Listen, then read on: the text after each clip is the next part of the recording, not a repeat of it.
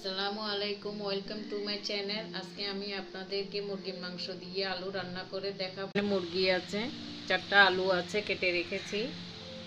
মরিচ আছে, হলুদ, ধনে পাতা, লবণ, এখানে দেড় টেবিল চামচ আপনার পেঁয়াজ আছে, বাটা। এখানে হাফ চামচ আছে রসুন বাটা, হাফ চামচ আছে আদা বাটা। তেল, পানি এবং এখানে আছে হাফ চা চামচ হচ্ছে যে টালা জিরা আছে এখানে, ধনিয়া গুঁড়া আছে এক চা চামচ, এখানে গরম মশলা, এলাচ আছে, দারচিনি, তেজপাতা। চলুন তাহলে রান্নায় যাওয়া যাক। দিয়ে দিচ্ছি পরিমাণ মতো। তিন টেবিল চামচ তেল দিয়ে দিলাম। পেঁয়াজ দিয়ে দিচ্ছি। দেড় টেবিল চামচ পেঁয়াজ বাটা।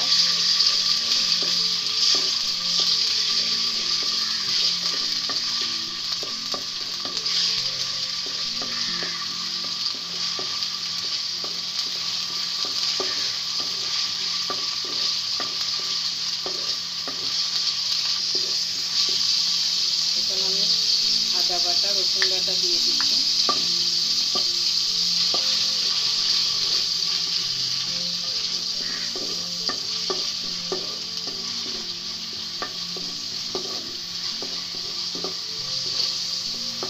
পেঁয়াজের কাঁচা পাতা চলে গেলে আমি একে একে সব উপকরণগুলো দিয়ে দিব।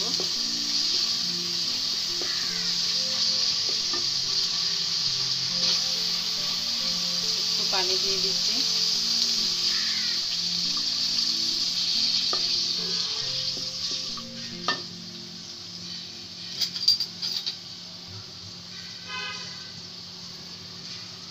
এখানে এক টেবিল চামচ আমি হলুদ দিয়ে দিচ্ছি।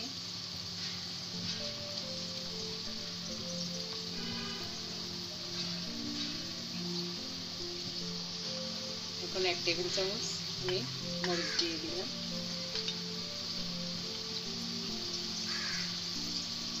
জিরা আর ধনে গুঁড়ো দিয়ে দিলাম।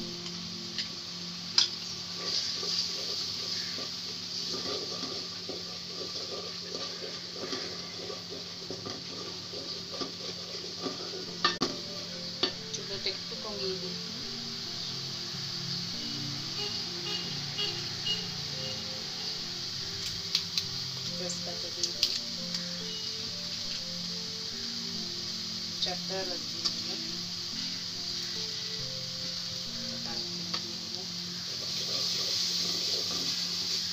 পানি দিচ্ছি আবার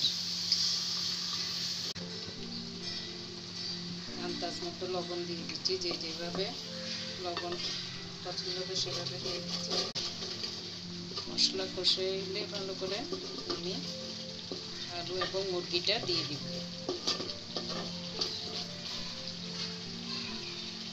দুই মিনিটের জন্য একটু ঢেকে রাখতেছি।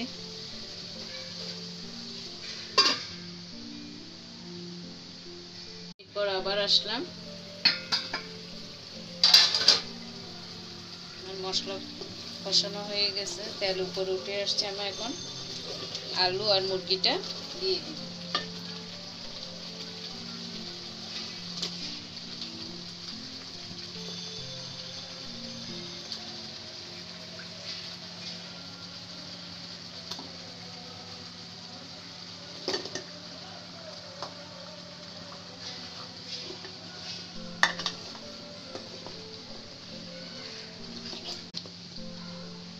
এভাবে দিয়ে আঁচের মধ্যে দশ মিনিট থাকবে, তারপর আমি আবার আসব দশ মিনিট পর। এখন ডেকে দিচ্ছি আমি।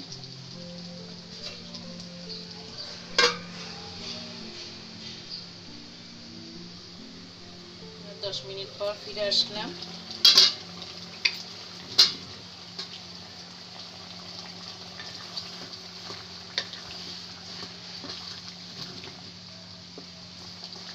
প্রায় সিদ্ধ হয়ে আসছে। আমরা আর একটু পানি দিব।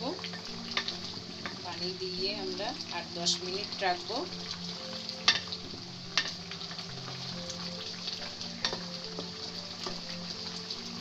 আর একটু পানি দিব আমি।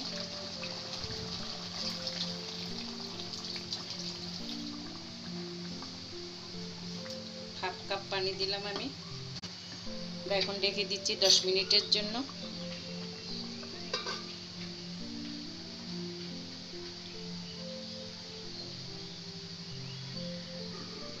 দশ মিনিট পর আমরা ফিরে আসলাম। আমাদের রান্না হয়ে গেছে এখন আমরা। কয়েকটা কাঁচামরিচ দিয়ে দিব।